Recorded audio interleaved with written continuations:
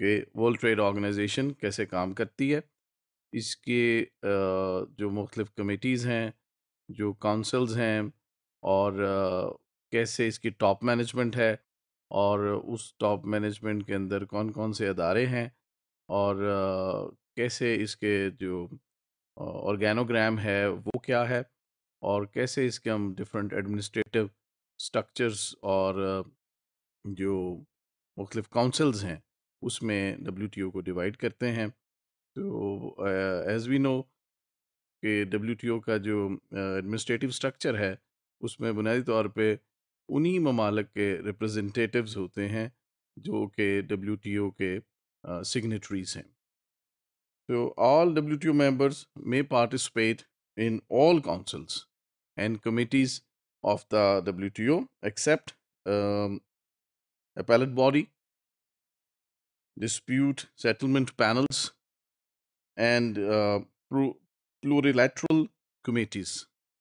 ये वो कमेटीज़ और वो पैनल्स हैं जिसकी नॉमिनेशन और इलेक्शन का एक सर्टन स्पेसिफिक स्ट्रक्चर है और उसके तहत इन कमेटीज़ और इन पैनल्स में जो रिप्रेजेंटेटिव है फ्रॉम द मेंबर कंट्रीज़ वो आते हैं तो जैसे कि हम देख सकते हैं कि on the top of it there is ministerial conference dispute settlement body और uh, ये बुनियादी तौर पे जो मेंबर्स कंट्रीज़ के दरमियान कोई डिस्प्यूट्स हैं कोई इश्यूज़ हैं जिसका ताल्लुक ट्रेड से है जो कि स्मूथ फ्लो ऑफ़ ट्रेड के अंदर या डब्ल्यू के जो डिफरेंट रेगुलेशंस हैं उसको किसी हवाले से डिस्प्यूट करते हैं उसके मुताबिक नहीं है।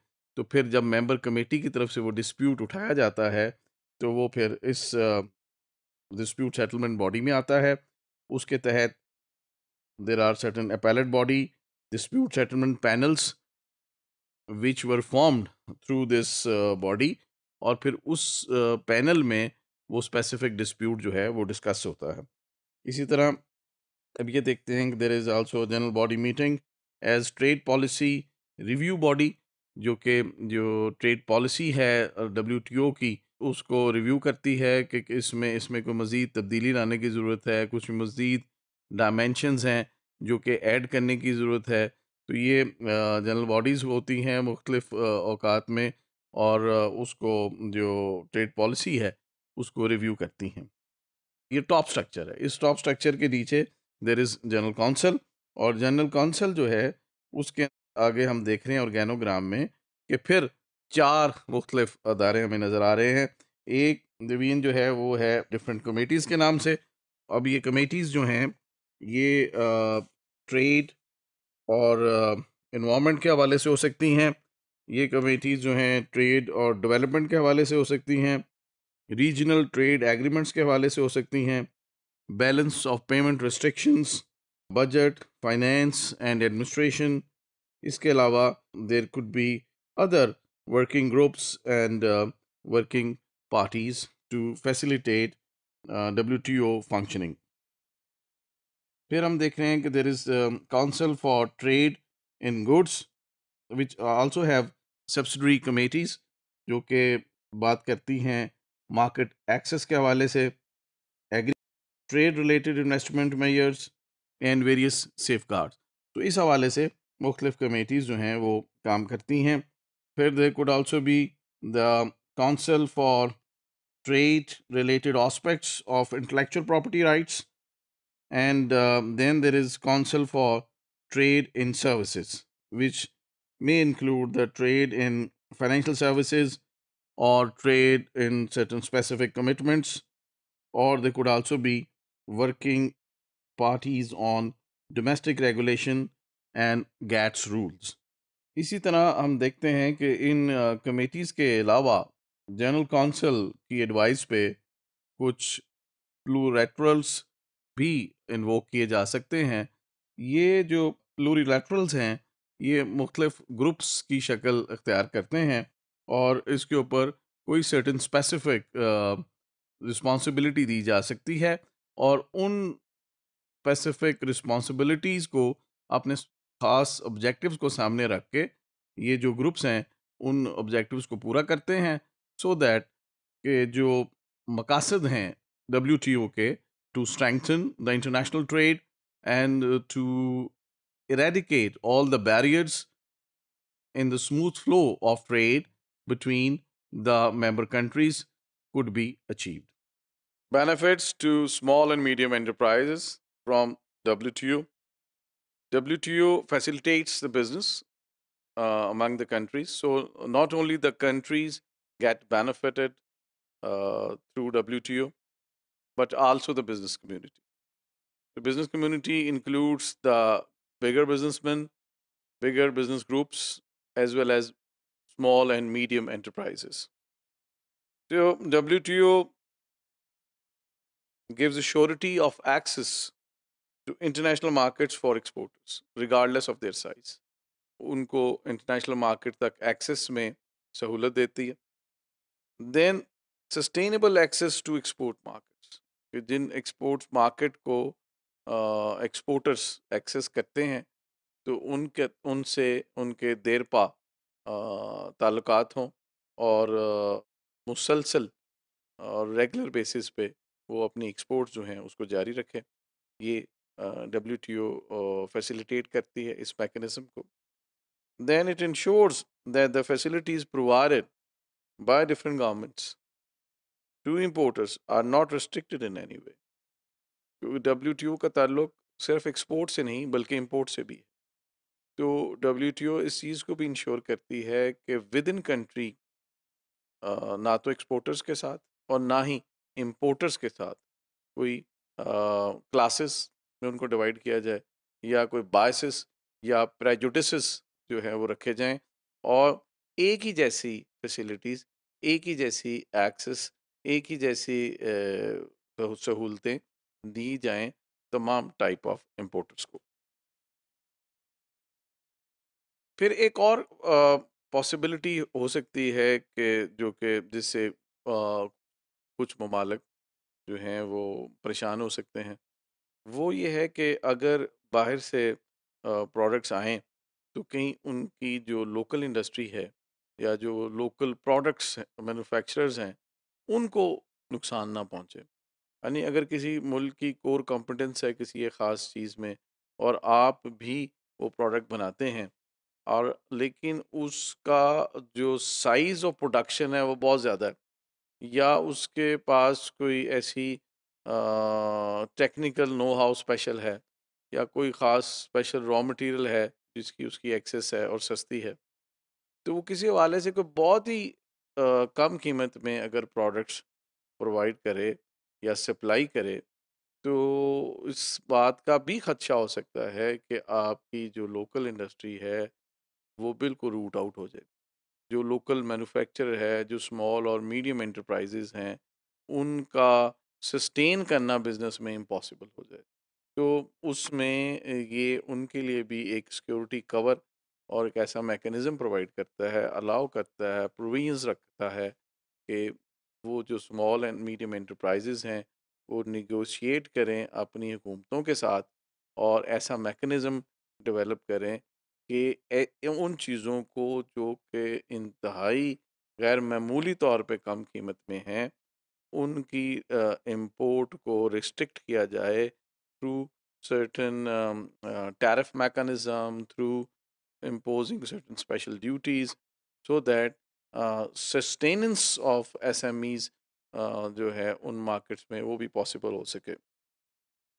सो एस एम ई में रिक्वेस्ट है governments for taking actions to minimise imports and promote local product so that uh, there is a there is a healthy competition and sustenance of both uh, local as well as imported product simultaneously in the market and a free choice is being given to the customers कि उनके उनकी उनके दिल है तो वो local product ले लें उनका दिल है तो वो इम्पोर्टेड प्रोडक्ट ले लें इसी तरह जो डंपिंग है डंपिंग कहते हैं कि किसी प्रोडक्ट को बहुत ही इंतहाई कम कीमत पे किसी एक मुल्क जो दूसरे मुल्क की मार्केट्स में भेज देता है और वो कीमत इतनी कम होती है कि लोकल मार्केट जो है उसका मुकाबला नहीं कर सकती और तमाम जो लोकल मैन्युफैक्चरर हैं और मार्केटर्स हैं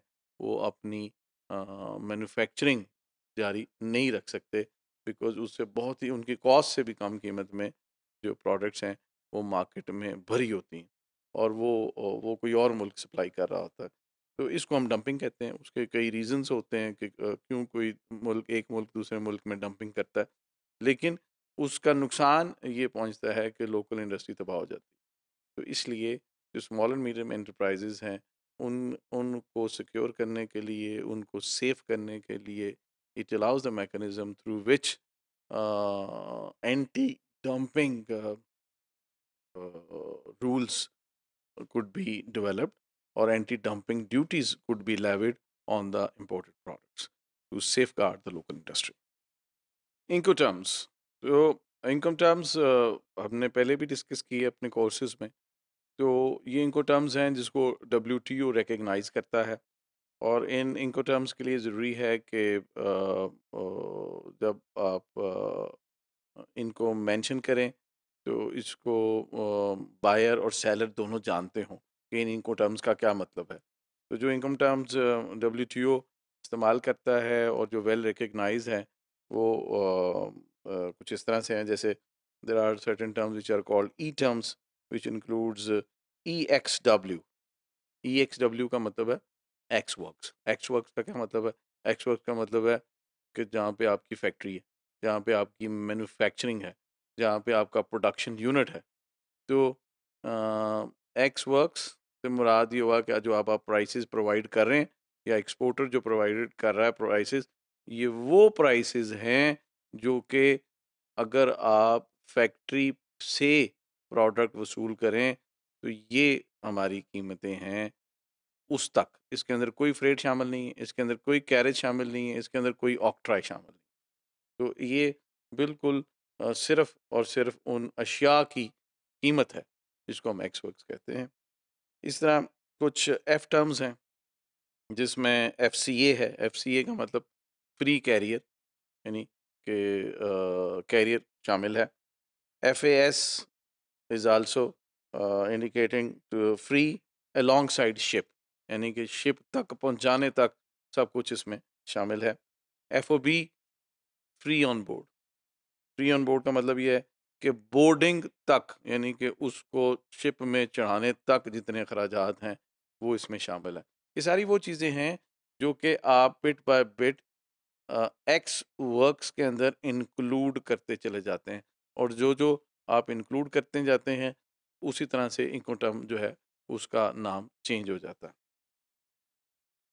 इसी तरह कुछ सी टर्म्स हैं, जैसे C F R C F R का मतलब है कॉस्ट एंड फ्रेट इसमें कॉस्ट भी शामिल है और फ्रेट भी शामिल है। सी I F C I F से मुराद ये है कि इसके अंदर इंश्योरेंस भी आ गई है। कॉस्ट इंश्योरेंस एंड फ्रेट ये आपने शामिल कर दिया और अशिया की कीमत के अंदर तो ये बन जाएगी सी आई एफ़ प्राइस जब प्राइस के साथ सी आई एफ़ लिखा होगा तो इसका मतलब है कि इसमें कॉस्ट है प्रोडक्ट्स की, इसमें इंश्योरेंस के पैसे भी दिए हुए हैं और इसमें फ्रेड भी शामिल है। फिर सी पी टी यानी carriage pay to C I P carriage and insurance pay to then there are certain D terms which includes delivered at frontier yani DAF DES delivered X ship. DEQ delivered ex quay quay तक पहुंचाकर जो cost बनेगी, वो ये होगी। Then D D U is the delivered duty unpaid delivered हो गई है, लेकिन ड्यूटी देने वाली D D P delivered but duty also paid तो इसमें उसके अंदर जो ड्यूटी लेवी होती है, वो भी पे करके जो फाइनल अखराज बनेंगे, उसको हम डीडीपी कहेंगे। इश्यूज़ एसोसिएटेड विद इंकोटर्म्स जो इंकोटर्म्स प्रोवाइड करता है डब्ल्यू उसके साथ there are certain conditionalities and there are certain rules and regulation also being provided by the W ये कहता है all Incoterms must specify a place जब आप कहते हैं, किसी इंकोटर्म को यूज़ कर रहे हैं, उसके साथ आप जगह का भी ज़िक्र करें। मसलन आप कहते हैं एक्स वर्क्स तो आप कहते हैं ex works Sialkot ex works Lahore ex works Leeds ex work New York ठीक है? और इसी तरह जब हम कहते हैं सी एंड एफ़ तो हम कहेंगे okay C and F Karachi. यानी कि जो ब्रिटेन में बैठा हुआ एक्सपोर्टर आपको प्राइस दे रहा है और आप कह रहे हैं, जी, मुझे सी एंड एफ़ प्राइस चाहिए। तो कहेगा, जी सी एंड एफ़ कराची, यानी कराची तक पहुँचने तक जो फ्रेट है, वो इसमें शामिल है। अगर आप, आपका जो वेयर हाउस है, वो लाहौर में है तो इसका मतलब ये है कि वो बाकी का किराया भी आपने देना है। इनको टर्म्स रिज़र्व फॉर सी और inland waterway transport should not be used with road और एयर वे ट्रांसपोर्ट के जो वाटरवेज के के लिए जो हम इनकम टर्म्स यूज़ करते हैं, वो सेपरेट हैं। उन Incoterms को हम यूज़ नहीं करेंगे। अगर जो ट्रांसपोर्ट हो रही है थ्रू बाय एयर हो रही है या इवन बाय रोड हो रही है। यानी जो इंकोटर्म्स लिमिटेड हैं विद जो हम यूज़ करते हैं बाय सी ट्रांसपोर्ट के वो लहदा हैं और उनको इस्तेमाल नहीं करना चाहिए। जब ये ट्रांसपोर्ट टू कोई आपका जो कंसाइनमेंट है बाय एयर आ रही है या बाय रोड आ रही है तो then there would be different Incoterms which would be used for this purpose FOB, which is free on board, may be inappropriate for seaway transport. कि जब सी वे के ज़रिए आप कर रहे हैं तो आप एफ़ ओ बी की को टर्म नहीं यूज़ करते। C term specify the place और port of destination it does not mean the delivery takes place there कि आपने लेट से कोई आपने कंसाइनमेंट मंगवाई है, अभी जो आपने एग्जांपल इस्तेमाल की थी कि ब्रिटेन से चल रही है तो उसमें सी एंड एफ़ लिखा हुआ है तो वो सी एंड एफ़ कराची लिखा हुआ अगर फॉर एग्ज़ाम्पल तो इसका मतलब ये नहीं है कि पोर्ट ऑफ़ डिस्चार्ज कराची है। पोर्ट ऑफ़ डिस्चार्ज कोई भी हो सकती है। इसका मतलब सिर्फ़ ये है कि कराची तक का किराया इसमें शामिल है। अगर आपकी डायरेक्शन ये है कि मुझे डिलीवरी चाहिए लाहौर में तो फिर वो पोर्ट ऑफ़ डिस्चार्ज लाहौर होगी, और उसके लिए जो बाकी मादा किराया है, वो इम्पोर्टर को पे करना पड़ेगा। अगर पोर्ट ऑफ़ डिस्चार्ज सियालकोट है तो वो जो बाकी का इनलैंड जो थ्रू रोड या may be through railway transport होगा तो वो किराया इसमें शामिल नहीं है।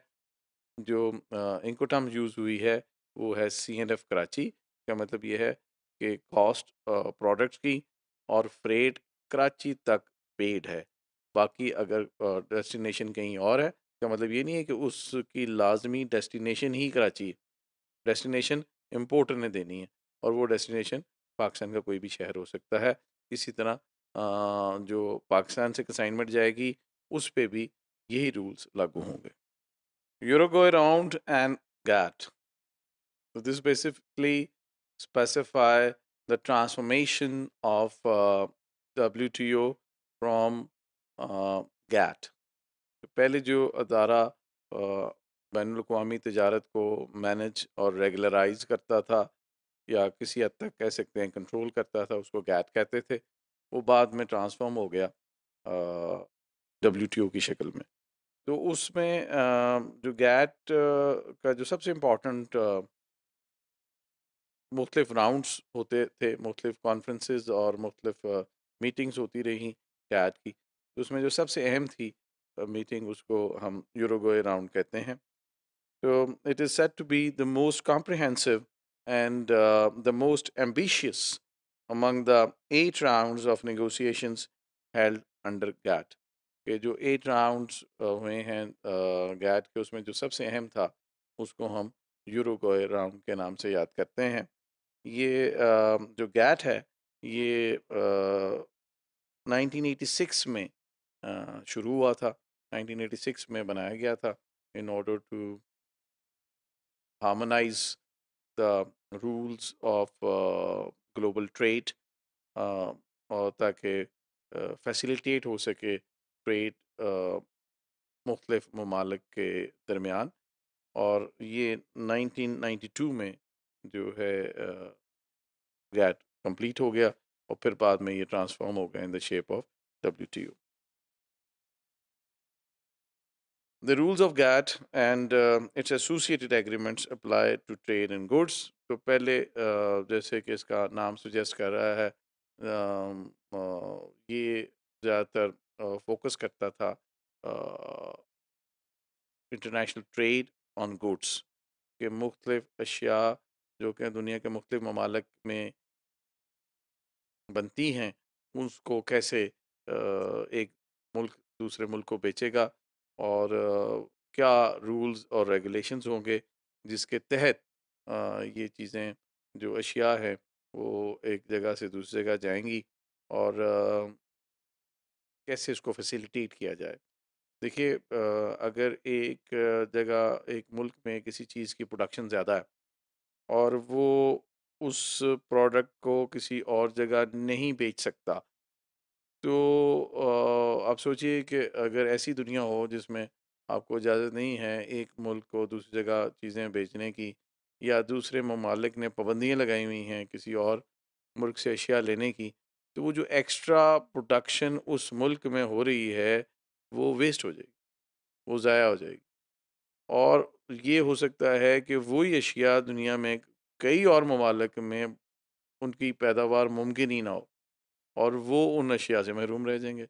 तो ये बुनियादी, इस बुनियादी फ़लसफ़े के तहत कि एक मुल्क की एक्स्ट्रा प्रोडक्ट दूसरे मुल्क में बेची जाए और उसको फैसिलिटेट किया जाए, फैसिलिटेट ऐसे किया जाए कि आसानी पैदा हो, ट्रेडर्स को, एक्सपोर्टर्स को, इम्पोर्टर्स को, ताकि एक फ्री फ़्लो ऑफ़ प्रोडक्ट्स दुनिया में हो सके तो उसके लिए जो पहली बुनियादी कोशिश है वो गैट की है। और उसके बाद यूरोगो अराउंड के बाद these rules extended to include trade in services also कि पहले जो गैट जो था उसका ज़्यादा फोकस अशिया यानी गुड्स की तजारत से मुतल था लेकिन यूरोगो अराउंड के बाद इसमें सर्विसेज़ को यानी खदमात के ना सिर्फ़ एक मुल्क को दूसरे मुल्क की अशिया की ज़रूरत होती है, बल्कि खदमात की भी ज़रूरत होती है। कि किसी जगह अगर बेहतर खदमात, बेहतर सर्विसेज़ क्रिएट हो रही हैं तो वो सर्विसेज़ भी एक्सपोर्ट की जा सकती हैं और उनके लिए भी रूल्स और रेगुलेशंस की ज़रूरत है, जो कि सर्विसेज़ के फ्लो को को भी फैसिलिटेट कर सकें।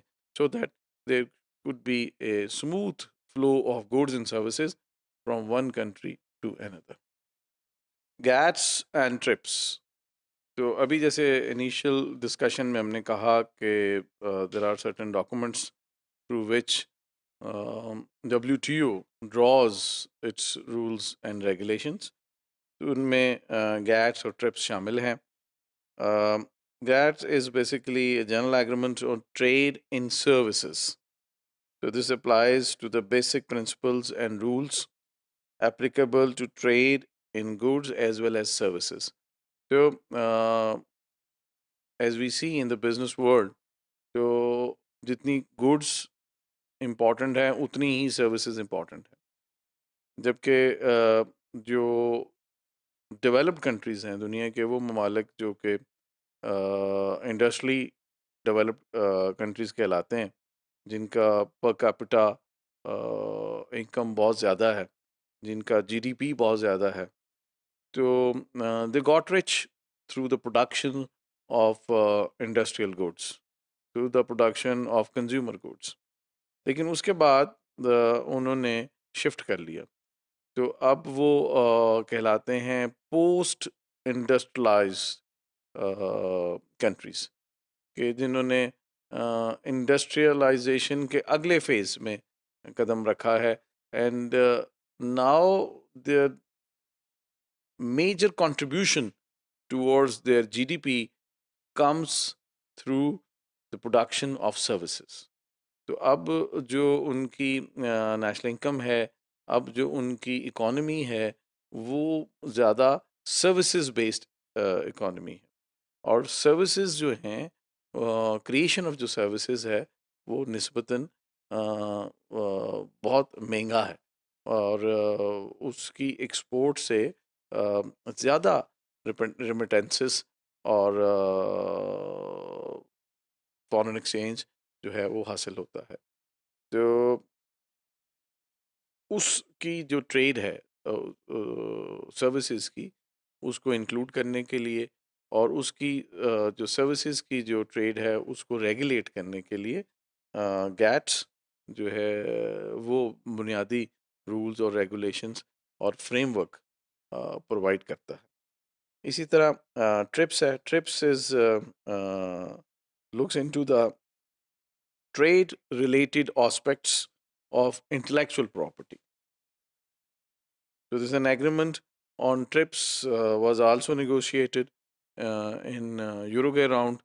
तो इसका बुनियादी ताल्लुक उन नेगोशिएशंस उन रोल उन रूल्स उन रेगुलेशन से है जो कि दुनिया के मुख्तलिफ़ ममालिक के दरमियान जो इंटेलेक्चुअल प्रॉपर्टी राइट्स ट्रेडमार्क्स और पेटेंट्स को सिक्योर करता है अदरवाइज़ अगर ये ना किया जाए तो एक मुल्क एक चीज़ बना रहा है तो दूसरे मुल्क में उसी चीज़ की कॉपीज़ उसकी काउंटरफीट उस नाम की फ़ेक प्रोडक्ट्स बनती चली जाती हैं। तो इसलिए जो दुनिया की बेशतर अच्छी कंपनीज़ हैं, वो उस मुल्क से बिज़नेस नहीं करती जिनमें जिन्होंने डब्ल्यू को साइन ना किया हो, या जिन, जिनमें ट्रेडमार्क और इंटेलेक्चुअल प्रॉपर्टी राइट इसकी इन्फ्रिंजमेंट के ऊपर रूल्स और रेगुलेशंस ना बने हों या उसकी एप्लीकेशन ना हो। क्योंकि ये बड़ा ज़रूरी है कि जिसका इंटेलेक्चुअल प्रॉपर्टी राइट है फॉर एग्ज़ाम्पल अगर किसी ने बुक लिखी है तो वो बुक उसका इंटेलेक्चुअल प्रॉपर्टी राइट है। तो अगर बुक जो है ए ने लिखी है और ए जो है वो कंट्री यूएस में रहता है और बाकी पचास कंट्रियों में उसकी बुक की कॉपी होके किताबें बिक रही हैं और उससे लोग फ़ायदा भी उठा रहे हैं। लेकिन ए मिस्टर ए जिसने किताब लिखी थी, उसको वो फ़ायदा नहीं पहुँच रहा। तो ये बड़ा नुकसानदेह और डिस्करेजिंग है। तो इसको भी टेकअप किया गया है और ट्रिप्स बुनियादी तौर पे इस trademark patent and intellectual property rights को लुक आफ्टर करता है और उसके लिए, उसकी सिक्योरिटी के लिए मैकेनिज्म प्रोवाइड करता है। Uruguay round and W T U Uruguay round बुनियादी तौर पे गैट जो कि एक पहली ऑर्गेनाइजेशन थी, जिसके ज़रिए इंटरनेशनल ट्रेड को बैन अवी तजारत को फैसिलिटेट और रेगुलेट की जाने की कोशिश की जा रही थी। उसका राउंड था जिसको उसकी एक मीटिंग थी जिसको यूरोगोए राउंड कहा जाता है। ये कहा जाता है कि सबसे ज़्यादा अहम मीटिंग थी क्योंकि जो अचीवमेंट इसमें की गई, वो पहले कभी नहीं की गई। तो इस राउंड के बाद जो इस राउंड के ज़रिए जो बहुत सारी अचीवमेंट्स की गई, उनमें एक तो डब्ल्यूटीओ का क्याम था। यानी इस राउंड के बाद में ये फ़ैसला किया गया कि अब एक नई तंजीम बनाई जाए और उस तंजीम का नाम डब्ल्यू टी ओ रखा गया। उसके बाद जो गैट थी, यानी general agreement on trade and tariff that ceased to exist, वो एज ए इंतज़ामी यूनिट के, एज ए ऑर्गेनाइजेशन के वो ख़त्म हो गई। लेकिन जो रूल्स एंड रेगुलेशन बनाए गए थे, इसके क़्याम के दौरान इसके मुख्तलिफ़ राउंड्स के ज़रिए इसकी मुख्तलिफ़ मीटिंग्स के ज़रिए मुख्तलिफ़ नगोशिएशंस के ज़रिए दे आर स्टिल इंटैक्ट और वो ही बुनियादी गाइडिंग स्ट्रक्चर्स हैं और वो ही बुनियादी रूल्स एंड रेगुलेशंस हैं जिसको डब्ल्यू टी ओ फॉलो कर रहा है most important achievement of the Uruguay round is the establishment of the WTO and uh, GATT as an institution ceased to exist after WTO. However, as a legal text remains. The WTO is now responsible for administering GATT 1994. GATT 1994 और तक जितने भी rules and regulations GATT ने बनाए थे for the free flow of goods and services um, in the in the global market उसकी अ, उसको administer करना और उसको लागू करना, मेंबर्स ममालिक में ये अब ज़िम्मेदारी है डब्ल्यू की। तो इसके अलावा W T O is also responsible for GATS which is which looks after the services side and also the agreement on TRIPS यानी वो कवानीन वो रूल्स वो रेगुलेशन जो कि लुक आफ्टर करते हैं और मॉनिटर करते हैं protection of patents protection of intellectual property rights तो अब गुड्स का फ़्लो हो, अशिया की तजारत हो सर्विसेज़ का फ़्लो हो, खदमात की तजारत हो, या protection of intellectual property rights हों। इन तमाम एरियाज़ की प्रोटेक्शन इनकी इनकी इनकी सेफ़ गार्ड इनकी प्रॉपर इम्प्लीमेंटेशन उसकी ज़िम्मेदारी एक ही इदारे पे है जो कि डब्ल्यू टी ओ यानी वर्ल्ड ट्रेड ऑर्गेनाइजेशन कहलाता है removal of trade barriers is one of the fundamental objective of objective of uh, WTO. So the WTO agreement basically requires कि जो member countries हैं वो gradually आहिस्ता आहिस्ता जो ट्रेड बैरियर्स हैं, जिसकी वजह से रिस्ट्रिक्शन आती है इंटरनेशनल ट्रेड में, उनको कम करें। और उनमें से एक जो है वो टैरिफ्स है, यानी जो ड्यूटीज़ पे करनी पड़ती हैं जब जब गुड्स जो हैं एक मुल्क से दूसरे मुल्क में जाती हैं। तो ये चाहते हैं कि उसका जो नफाज है वो कम से कम हो। तो it says that W T U agreement calls for the gradual reduction of tariffs on trade of industrial products by developed and developing countries जो मेड अप प्रोडक्ट्स हैं, जो मैन्युफैक्चर्ड प्रोडक्ट्स हैं, जो भले डेवलप कंट्रीज़ में बनी हैं या डेवलपिंग में बनी हैं तो उनकी जो फ़्लो है, यानी एक मुल्क से दूसरे मुल्क में जो जाना है, उसके ऊपर जो कस्टम ड्यूटी है, वो वो कम होनी चाहिए। इसी तरह टेक्सटाइल क्लॉथिंग बेड लिनन और कॉटन मेडअप्स जो हैं, उसके हवाले से ख़ास तौर पे डेवलपिंग कंट्रीज़ ने, वेस्ट ने, यूएस ने कुछ रिस्ट्रिक्शन लगा रखी हैं। यानी एक कोटा है या एक रिस्ट्रिक्टेड लिमिट है जो कि फ़िक्स की गई हैं की जाती हैं मुख्तलिफ़ मुल्कों के हवाले से। तो डब्ल्यू टी ओ की जो ऑब्जेक्टिव है वो बुनियादी तौर पे इस तरह की लिमिटेशंस इस तरह की क्वांटिटेटिव रिस्ट्रिक्शंस और कोटा के भी ख़िलाफ़ है। ऐसी कोई रिस्ट्रिक्शन नहीं लगानी चाहिए कि जिससे फ्री फ़्लो जो है वो मुतासर हो और आप रिस्ट्रिक्ट करें कि भाई आप एक मुल्क से हमने इतनी for example textile related product ख़रीदनी है, इतने वैल्यू की, इतने डॉलर्स की, इससे ज़्यादा नहीं ख़रीदनी। तो ये भी जो बुनियादी रूह है इंटरनेशनल फ्री ट्रेड की उसके ख़िलाफ़ है तो if you read it out It says that regarding textile and clothing, the agreement requires that those developed countries which apply quantitative restrictions on import of certain textile products from developing countries to remove these restrictions gradually. इसी तरह agriculture के हवाले से ख़ास तौर पे जो western countries हैं, यूएस है और जो अमीर ममालिक हैं, बहुत से डेवलपिंग कंट्रीज़ में भी सब्सिडीज़ दी जाती हैं एग्रीकल्चरिस्ट को, in order to boost the agriculture, in order to motivate them towards cultivation.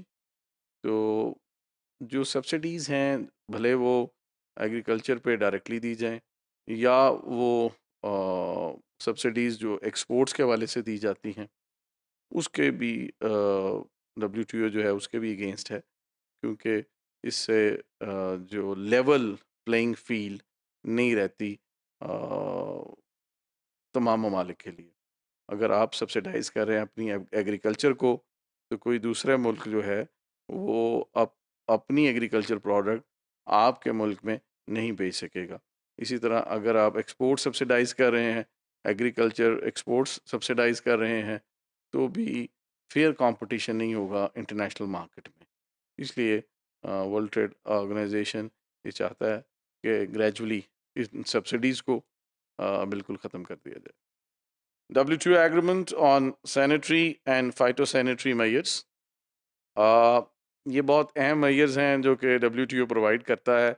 ये गाइड करते हैं और ऐसे असूल जवाबत बनाते हैं जो कि मूवमेंट है फ़ूड की एग्रीकल्चर प्रोडक्ट्स की एनिमल की, उसको सुपरवाइज करते हैं ताकि कोई ऐसी अशिया एक मुल्क से दूसरे मुल्क में ना चली जाएँ जिनमें कोई पेस्ट हों, कोई इंसेक्ट्स हों, जो किसी भी हवाले से ह्यूमन लाइफ के लिए या प्लांट्स के लिए या जानवरों के लिए नुकसानदेह हो। तो it says that this agreement lays down certain guidelines for assessing risk to human animal और प्लांट लाइफ कि अगर कोई मूवमेंट है तो उसमें कोई किसी किस्म का रिस्क अगर है तो वो क्या है? ह्यूमन uh, लाइफ को प्लांट्स को या एनिमल को। So that the countries exporting agriculture products have to meet the SPS. SPS means uh, sanitary and uh, phytosanitary measures, regulations applicable in the importing country. जो export कर रही है uh, या exporter वो उन इन एस पी एस रूल्स के ऊपर पूरा उतरे जो कि लागू हैं इंपोर्टिंग कंट्री के अंदर तो सच रेगुलेशंस आर मेंट बुनियादी मकसद इसका ये है टू प्रोटेक्ट ह्यूमन और animal life from food borne risk के जो भी फ़ूड एक इम्पोर्ट हो रहा है उस मुल्क में, किसी और मुल्क से तो वो फ़ूड जो है, भले वो एनिमल फ़ूड है या भले वो ह्यूमन कंजम्पशन का फ़ूड है तो किसी हवाले से उनको, उनके लिए नुकसानदेह ना हो। इसी तरह it is to protect human health from animal और प्लांट कैरिड डिज़ीज़ कि अगर कोई वेजिटेबल uh, या फ्रूट्स हैं या मीट uh, है एनिमल मीट uh, है तो वो uh, कोई ऐसा ना हो जो जिसमें कोई ऐसे पेस्ट या इंसेक्ट्स चले जाएँ जो किसी भी हवाले से उस मुल्क में रहने वाले जो इंसान हैं उनके लिए कोई उनके सेहत के लिए किसी ख़तरे का बायस हो। Similarly animal and plant from pest and disease इसी तरह आ, कोई ऐसे पेस्ट या कोई ऐसी डिज़ीज़ ना कैरी हो रही हों उस फ़ूड में जो कि जानवरों के लिए है या उससे किसी किस्म का कोई प्लांट लाइफ को या एग्रीकल्चर को ख़तरा पहुँच सकता है। तो ये इनकी असेसमेंट बड़ी ज़रूरी है। और there are certain standard which has been set उसको फॉलो करना बड़ा ज़रूरी है। इन अशिया की uh, एक मुल्क से दूसरे मुल्क में नकल हमल के दौरान। तो the S P S regulations should be based on scientific principle तो जो भी uh, ये रूल्स बनाए जाएँगे ये साइंसी बुनियाद पे बनेंगे और जो साइंटिफिक रिक्वायरमेंट्स हैं उनको फुलफ़िल करेंगे।